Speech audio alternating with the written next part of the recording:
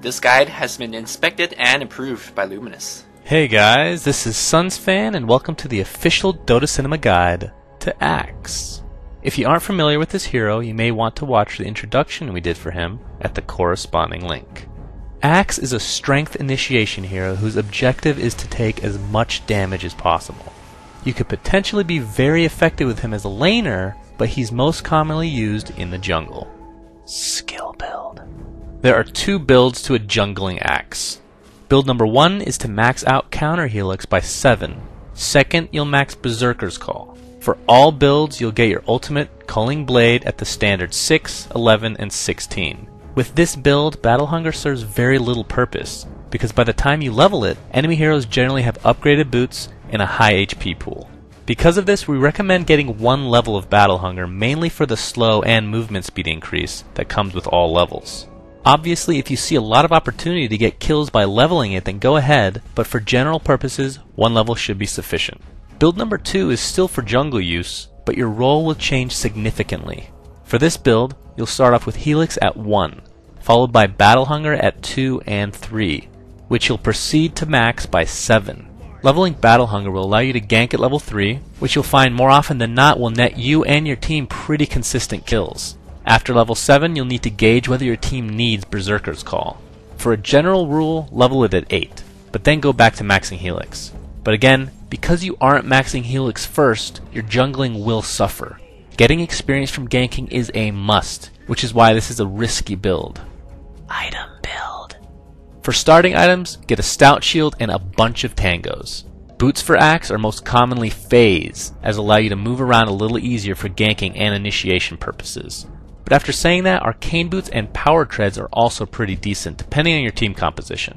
Axe is pretty mana dependent, so if no one else on your team is getting arcane, you'll be forced to do so. Now, generally speaking, the core item set for Axe would be Phase Boots, Vanguard, and a Blink Dagger. The question is, what order do you purchase these items? Well, since you start with a stout shield, your agenda should be to purchase your ring of health as fast as possible, so you can jungle without worrying about embarrassing yourself with a death to the neutrals.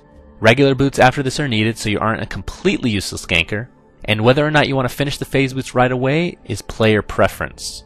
At this point, most players would finish their Vanguard by purchasing a Vitality booster, but if your team desperately needs some initiation, then by all means go Blink Dagger before doing so. After this core build is complete, every other item pickup is situational. A hood into a pipe could be useful against magical teams, although a lot of times a cloak will be sufficient for your purposes. A blade mail is a somewhat common pickup, which if you berserkers call an enemy and activate the item, you can take pride in saying, Stop hitting yourself, stop hitting yourself, in all chat. For luxury items, a Shiva's Guard is really good on Axe as it will solve all his mana issues, in addition to giving you a lot more tank ability as well as extra initiation punch. A heart could also be purchased in some cases, since the name of the game is taking damage. In the general laning and jungling phase, your role is really dependent on which build you go. If you went with build number 1, getting a Blink Dagger ASAP is your top priority.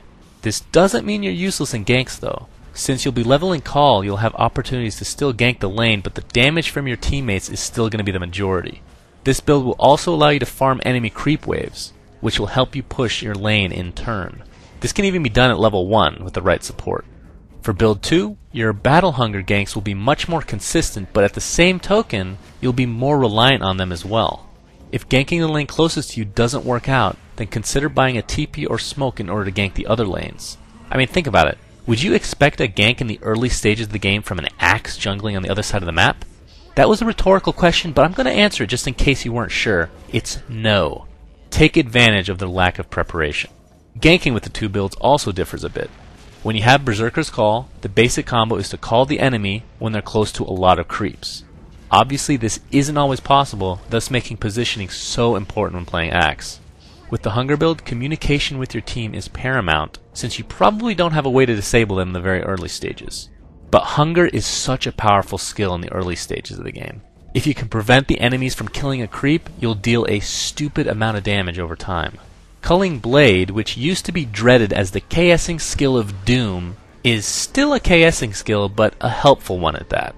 Don't be afraid to steal a kill because the speed buff given to surrounding allies could potentially be enough to catch up to some fleeing enemies. But the one rule with playing Axe is to have some balls. Your job is to jump in first and take a lot of damage. Obviously, once you have your Blink Dagger, this will be much easier to pull off.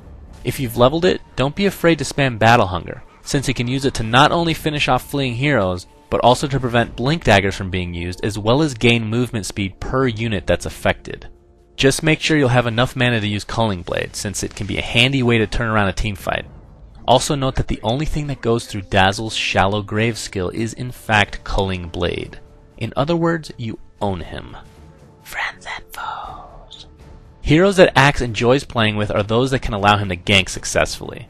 Sand King's Burrow Strike is a great way to set up Axe's Call, while General Slows from Ancient Apparition and Venomancer are also just as effective. A special mention has to go out to Darkseer and Dazzle. Dazzle will help you stay alive in various ways. His heal will be very effective since Axe enjoys hanging around creeps. His shallow grave will keep you alive against literally anything. Unless, of course, there's an Axe on the other team as well, but that seems unlikely. And of course, his poison touch will allow you to catch up to fleeing enemies. Darkseer, on the other hand, can speed you up with Surge, which makes positioning so much easier to pull off. And of course, when his Ion Shell is applied to you, you'll deal that much more damage. Axe can't stand to go up against a variety of heroes. The usual suspects would include the disable happy intel heroes named Rhasta and Lion. But more notably, going against both Ursa and Lifestealer is absolute hell. Both heroes can kite Axe, while also dealing a ridiculous amount of damage thanks to their respective passives. Thanks for watching, guys, and please remember to subscribe to our YouTube. Be sure to check out our brand new Axe t-shirt, which is available now. Just click on the link to take a look for yourself. We're planning to release a new one for each hero guide we release. Also, a big thanks to FlawlezZ and Luminous who helped create this guide. You can check them out at their YouTube channels, which are linked in the video description. Also, be sure to check out our website at dotacinema.com. My name is Sunsfan, and we love you guys.